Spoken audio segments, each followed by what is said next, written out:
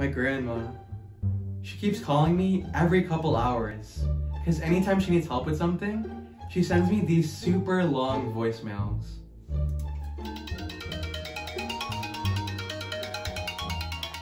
Hi, Ronith. I hope you're doing well.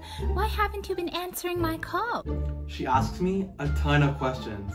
Because she's alone in quarantine and needs help ordering groceries online. How do I look up the items I want? How do I pay for the food? Where can I use my coupons? I wish there was a better way I could help Grandma.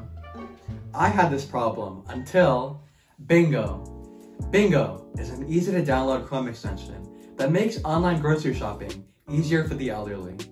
Our value proposition is that for senior citizens, our company creates a software that helps them become more self-sustainable because of our intuitive, step-by-step process of guiding them how to buy groceries online. Our solution is a Chrome extension.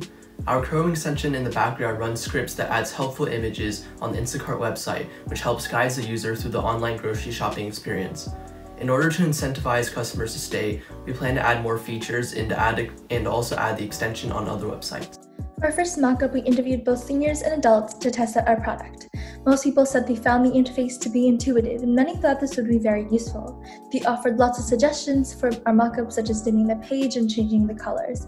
We have not published the Chrome extension on the web store yet, as it is not complete, so we do not have any users as of this moment. We will make it free for the first few months in order to get better traction and build a favorable brand image as we're helping seniors during a global pandemic. We will begin to market to close friends and family then move to marketing freely on Facebook and Nextdoor. And contact local newspapers to get them to publish an article.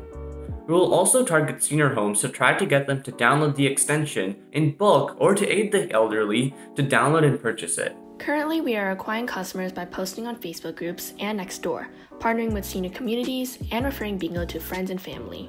In the future, we plan to use Facebook and Google Ads along with a referral program to acquire customers organically. Facebook ads have a cost per click of around 25 cents, and Google ads have a cost per click of around $1. For our referral program, we plan to give a 5% discount for every 5 people, which will cost around 30 cents per customer. We'll decide to make the Chrome extension free for the first few months in order to gain more traction and user feedback. We don't expect that many costs except maybe holding a website domain and possibly hiring developers. Our preferred revenue model is a customer affiliate program with Instacart, as in, we'll get commission every time a customer uses our extension to buy on their site. But on the case that this does not work, we'll price at $2 per month or $20 per year. Thank you for listening and find out more at getbingo.unicornplatform.com.